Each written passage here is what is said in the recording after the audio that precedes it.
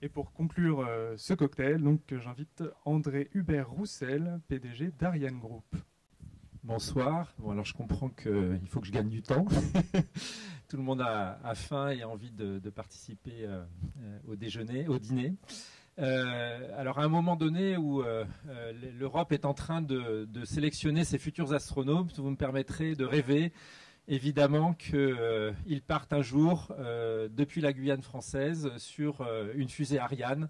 Et c'est vraiment ça ce qu'on souhaiterait le plus cher au monde. en attendant, ma mission, la mission d'Ariane Group, c'est d'assurer l'autonomie de l'accès à l'espace, de permettre à l'Europe de garder les clés de son accès à l'espace. Et vous savez combien cela a été bouleversé récemment par la guerre en Ukraine, et qui a montré combien nos dépendances nous empêcher potentiellement euh, de faire euh, et d'aller et de partager le rêve d'exploration que nous souhaitions.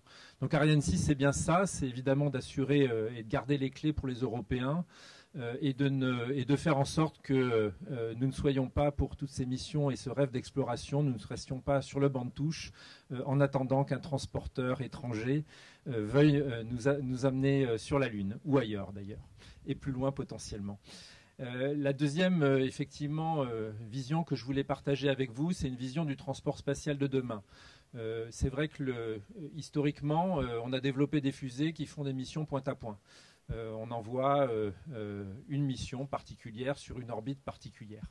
Euh, notre vision euh, à l'avenir, euh, et je vais la partager avec vous au travers d'un petit film, et on l'a travaillé avec une grande partie de l'écosystème européen au travers d'une étude qui s'appelle NEST, qui veut dire New Next European Space Transportation System pour déployer en fait une véritable logistique spatiale. Et notre vision, c'est de desservir de façon extrêmement régulière une orbite basse ou une orbite de type hub euh, à partir desquels d'autres véhicules et une flotte de véhicules euh, va permettre euh, d'aller à droite, à gauche et sur toutes les orbites que nous souhaitons desservir.